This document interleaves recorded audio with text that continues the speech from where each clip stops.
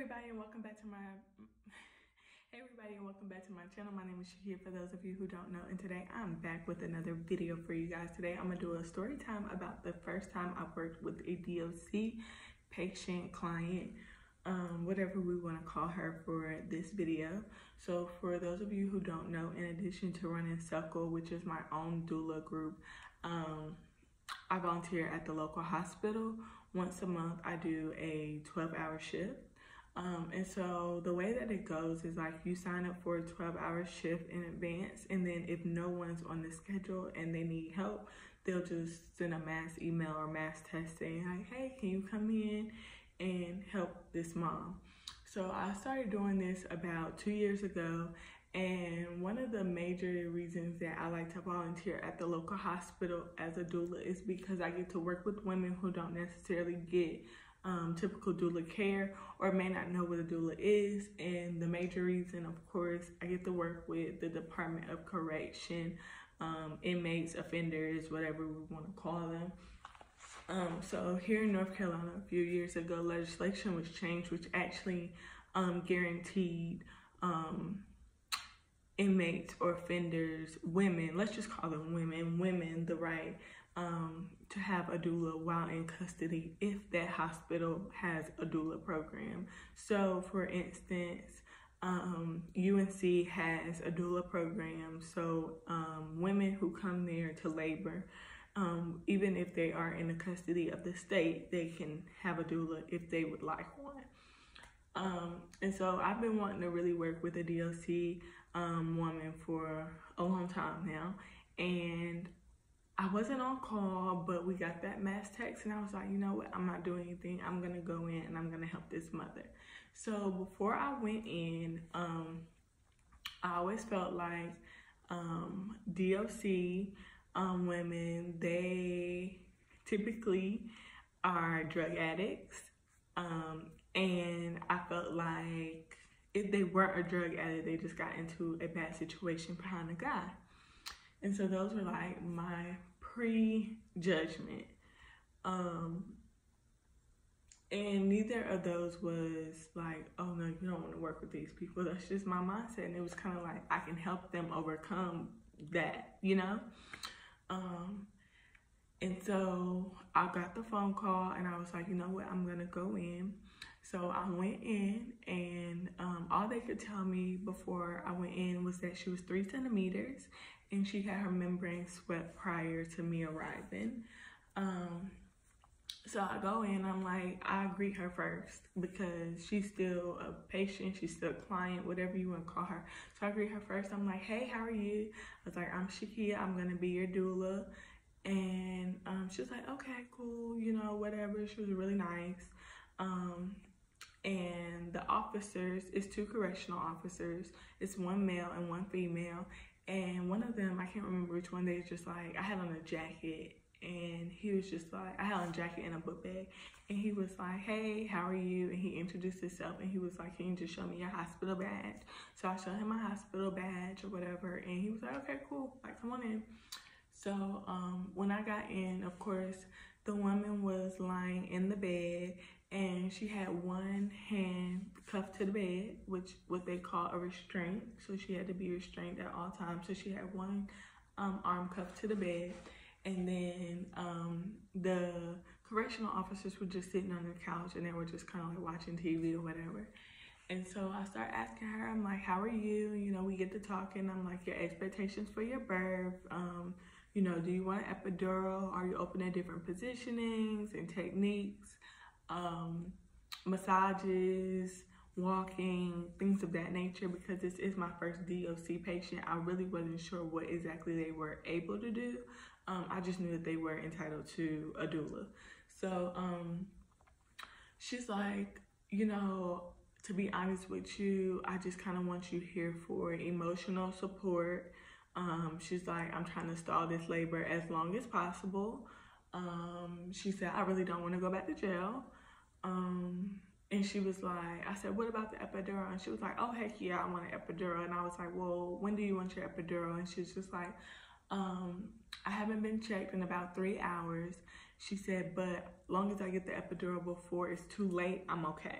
So at this particular hospital, um, they actually have an anesthesiologist just assigned to labor and delivery. So um, as long as you want the epidural, you can get the epidural. It's like never too late unless you can't curl over to get the epidural or unless you can't sit still long enough through your contractions to get the epidural. Otherwise, you can get an epidural. So um, she was like, as long as I can get the epidural. And I was like, okay, do, do you have any um, previous children, you know, that affects labor? And she's like, yes, I have two, but it's been a while since she had a baby. And so I'm like, okay, like this seems like stuff that, you know, I can work with. I can definitely like get her through this, you know, like we, we got this, you know? So, um, what happened? So next, um, we lay there, well, she lays there and I just, you know, continue to talk to her. So she starts opening up to me about like some of her struggles in life. Um, and long story short, she had a traumatic experience where, um, her husband at the time was involved in a car accident with their children inside and um, he ended up dying and their children were severely hurt as a result of the car accident and shortly after his death she turned to drugs um, to kind of get through what she was going through. And so um, she started talking to me about you know how her drug addiction started and you know like things of that nature and she was very open because mind you the correctional officers were in the room at this time um, still. So she was just talking in front of them. And you know i didn't judge her you know like i'm just like things happen you know like whatever. Like right now it's the you know we we got something bigger right now on our hands. And so it worked out well. And then um, I started getting deeper into conversation with her, but not about her drug use, just about like her baby. And um, I asked her, I'm like, okay, well, is your baby okay? Because she did admit to using drugs while she was pregnant. And I'm like, okay, well, um, let me take it back. This offender, she, um, she was out on she was out on probation for drugs, but she violated her probation by using drugs. And so she was out majority of her pregnancy. Actually, she was out to, to term with her pregnancy. Um, she was out on bond. So um, I asked her, I'm like, well, did you receive prenatal care? And she was like, no. Okay, so that's something. So I'm like, well, when's the last time you had a C uh, um, ultrasound completed? And then she informs me that she had an ultrasound completed um, the day before and that was her first ultrasound of her um, of her pregnancy. That was her first ultrasound, and that happened while she was in state custody. And that was the reason she was able to get the ultrasound because you know the state has to provide certain things for you. And um, it was revealed that her baby had a big cyst on its brain as a result of like everything that was happening. And so um, that was a big shock to me. So she was just like, I just want to let you know, like, when my baby is born, everyone from the NICU is going to be in. And she kept saying, I feel like we're having a party in here. I feel like we're having a party in here because it was so many people. It was myself, it was her, it was the two correctional officers when the correctional officers had to switch off, it was actually four correctional officers instead of two. It was the nurses, it was the doctors, it was a lot of people in the room. And so I was like, well, if you think that this is a party, just know like you have to prepare yourself for delivery because the NICU has a set of about about six people that are going to be in here in addition to everyone else that's supposed to be in here in addition to the correctional officers now because of, you know, your circumstance or whatever. And I just really wanted to prepare her for what was to come. So she was like, okay, you know, like we get to talking. And she just informs me that, you know, with her situation, she wants to stall labor and she just lets me know that, you know, she does not want to go back to jail. And so this is when it starts to get hard for me because at this point I'm starting to kind of get iffy. Not iffy about my capabilities, but iffy about like her. And this is why. So it was hard to kind of like it was hard to relate to her because a she was a drug addict and I've never used drugs And not only was she a drug addict, but I'm a big advocate of prenatal care. And because she was a drug addict, she did not get prenatal care. And as a result of her using drugs while pregnant, her baby now has complications. In addition to this, she's an offender, so she's in state custody, which means her baby is going to be left alone because one of the big conditions of her family taking the baby is that the baby had to be healthy because she was using drugs. So her family pretty much said, like, if your baby is healthy, we'll take her. If not, like, your baby has to go to the state. And I just didn't feel like that was fair. And then in addition to that, you not wanting to, you wanting to stall labor, um, so that you don't have to go back to jail. You know, like it was just to me, it just started to seem like very, very selfish.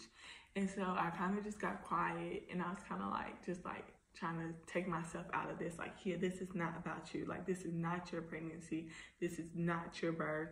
This is not, like, this is not about you. Like, your job is to come here and your job is to help her.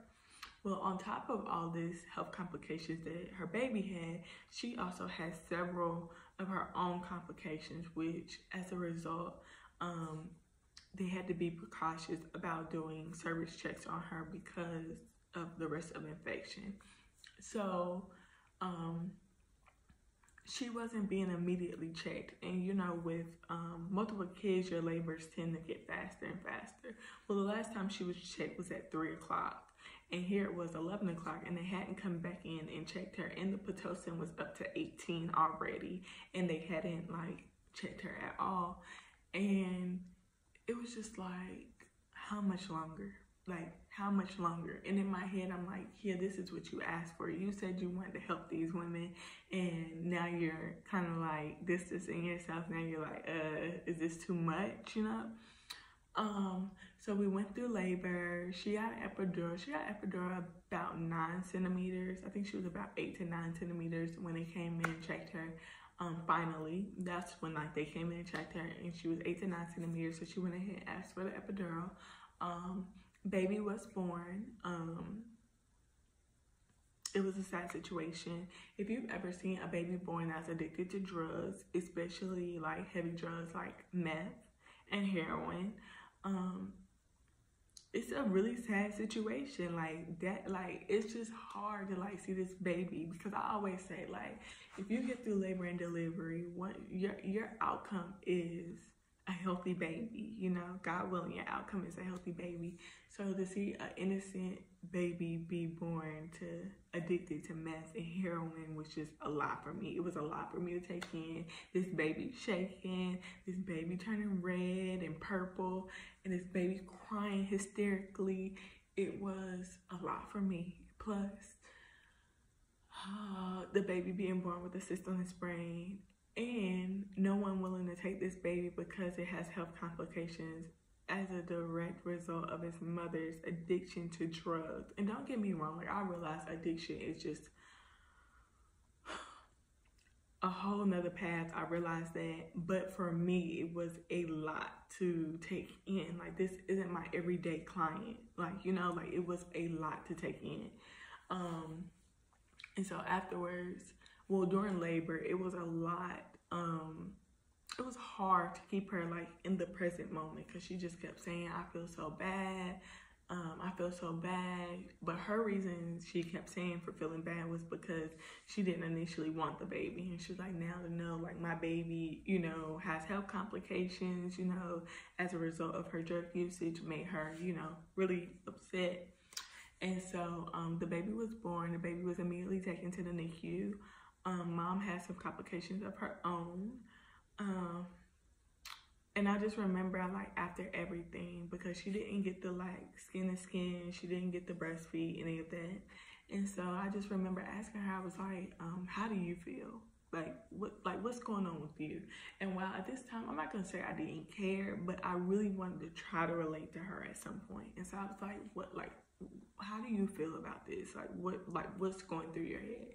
And she said, I just hope that my baby is okay. She was like, that's the biggest concern right now. She was like, I understand that I have to go back to jail. Um, but she said, I really just want my baby to be okay. She said, I want my baby to be healthy and I really just want family to like come and get her so that she does not have to go to state custody um, as a direct, you know, consequence of my decisions. And so um, I stayed with her for about an hour um, after, you know, they got her cleaned up and everything. Um, she was able to eat and everything. And I just told myself, like, in the future, the next time I work with a DOC patient, I do feel like I will be better equipped because now I know what it's like to have somebody on drugs, to work with someone who is a drug addict. And when I say on drugs, I mean like this lady was using drugs days prior because she was out on the streets like days prior. So I mean, she was using drugs all throughout her pregnancy. So I do feel like now um, I'll be better equipped to help somebody who is addicted to drugs. Um, and I also feel like I know what to expect in a sense. So it's different from the clients I work with on the everyday because these are like working moms, you know, and these are moms who don't have all of this going on. They have their own thing going on. And so now that I know that I can't necessarily relate, but my job is to keep them on the present moment, that it'll make me a better doula. When I became a doula, I signed up to help women. That's my that was my thing, is to help women. And so I definitely feel like I can't exclude them while it may be challenging to work with them in some instances like this, it was challenging. It was challenging to hear her say, Well, I feel like it, what she said something. She said, well I feel like I'm not hurting anyone but myself when I use drugs." So I don't understand why people care so much, and that really made me upset because, as I said, she has two prior, she has two children already, and those children are in the custody of family because of her drug use. And now you have another one coming, and this baby has health complications as a result of your drug use. So how's that only affecting you? That's what really, really like took the cake for me. I was just like, yeah, I, have had it. Like I had to walk out the room and everything. Actually, I didn't just walk out the room. I walked off the floor. I walked out the hospital and I sat on the bench for like 30 minutes because I had to get myself together. Like I had to like release like woota for real, for real. Because this is just too much for my mental right now. Um, and so yeah, like you know, like just being able to like say like, hey, this isn't about you. Help her because as a result, a result of helping her, you're helping this innocent baby, and that's what got me through. Um, I do feel like I would help more DOC patients. Um, I would like to help more of like not the addict side, but if another addict comes, I definitely won't turn them away because they're addict. Um, overall, I would say that they get good rights while they are in the birthing process. Um, a part of that good rights, I would say, is they have the freedom to walk around, um, not just in the hospital bed or room, sorry, bed, in the hospital room, but they get to walk around the labor and delivery floor. Um, when they walk around, at least one correctional officer has to be with them, and they do call dispatch to let them know, like, hey, I'm walking with offender XYZ. We're just gonna walk the floor as part of her labor. Um, so that was nice. As I said, they're restrained. They have one hand cuffed to the bed at all times unless they are walking or unless they are using the restroom. Um, they are always with one male and one female um, correctional officer. Um, at any time during it during the process, a male officer will walk out if like a female's body is exposed, no matter what what is exposed. Um, so you know the hospital gowns they typically open in the back. So at one point the offender didn't want to have another gown in the back, you know. So you wear one going the back is open and the other the front is open. Um, but she didn't want to wear two gowns, so um, the officer had to keep stepping out because she was exposed. Um, another thing is like when they keep coming in to find the baby heartbeat, um, heart rate on the monitor, um, and you know they have to like play with the monitor to find it. They have to lift up her gown. The officer would have to step out. He can't just turn his head or look the other way. No matter how minor it is, if her skin is exposed, he has to step out. Um, the first offender, the first officer stepped out anytime she went to the restroom because she had the back out of her gown. So he would have to step out for that. Um, she was restrained to the bed at all times, like I said, unless she was walking or unless um, unless she was going to the restroom, um, with the exception of pushing. When it got time to push, the officer did release her, her arm um, so that she could hold on or do whatever she needed to do while birthing. Um, and, you know, her time was very short-lived with her baby because, like I said, it was just like, this is your baby, and they rushed her baby to the NICU. So she didn't get to spend a lot of time and immediately following um, the baby um, the baby being taken or whatever, she was um, restrained again.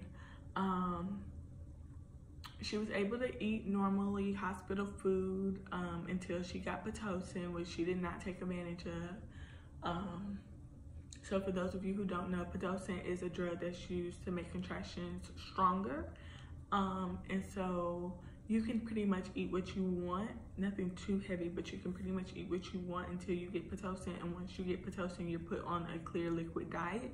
So that includes like jello, popsicles, um, ginger ale, water, things of that nature. So I kept telling her, I was like, girl, you better eat this food. She had a she had salad with like grilled chicken on it. I was like, girl, you better eat this food because um, you know, like sooner you're not gonna be able to eat if you want the Pitocin. And she was like, I'm really not hungry anymore. I'm not hungry. She was like, I was so hungry now I can't eat, whatever. So she didn't take advantage of eating. So then when she got the Pitocin, she went to eat and the nurses was like, it's too late to eat. So she could eat whatever she was fed, like hospital wise. Um, and then, you know, on labor and delivery floors, we do have like sodas such as um, ginger ale and Coke. Um, but the soda comes in a can. So because she was an offender, um, the can is considered contraband because it can be sharpened, you know, the aluminum part. So for her, I just had to go get a cup with some ice and pour the soda into it. So she had like a paper cup. So it wasn't like such a big deal. I would say she was treated really nicely. Um, the correctional officers treated her with the utmost respect. Um, even the second round, you know, they were a little more stricter, you know, as far as like policy wise went but they were really nice um, and ultimately they wanted the best for her and her baby and that's really all we can ask for. So my advice to doulas going forward who may be put in this situation y'all stay in the moment. Don't let the circumstance get the best of you. The same way you preach to your clients stay positive. This isn't gonna last forever. Like you have to tell yourself that too, like mentally, like, and if you need a break, take that break. Because if I didn't take that break, I would have been pissed off, okay? I wouldn't have lasted the whole time because I'm telling you, I was pissed off. So take that break, do what you need to do, but just remember, like, this isn't about you. And while you may not be able to relate to her situation because you've never been in this situation or your everyday circle is not in this situation, just know that this is bigger than you. Like, this is just another birth that another innocent baby and if you can help that that mother therefore helping that baby then that's our role that's our responsibilities so i'm gonna end the video right here. If you have any more questions you can leave them below. Sorry i don't know why i'm about to start laughing. You can leave them below. If you have any more questions as always hit the like button. If you're not already subscribing to the channel go ahead and subscribe and i'll see y'all in the next video. Bye